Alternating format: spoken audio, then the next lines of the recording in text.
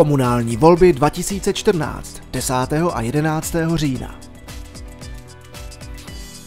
Technický stav víceúčelové sportovní haly byl takový, že jsme museli rozhodnout o variantě výstavby nové haly a tu starou nechat zbobrat.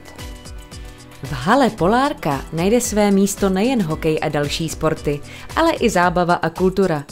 Kromě ledové plochy hala nabídne také kurty pro badminton, stolní tenis a samostatně přístupnou střelnici.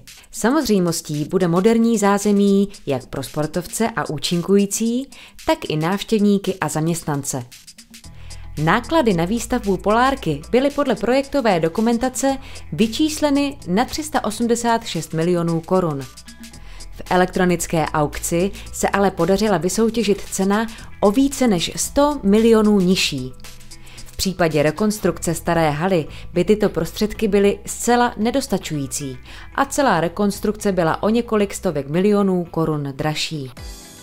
Hala Polárka bude moderním kulturním a sportovním stánkem Frýdku místku. Přijďte prosím ke komunálním volbám a dejte nám svůj hlas.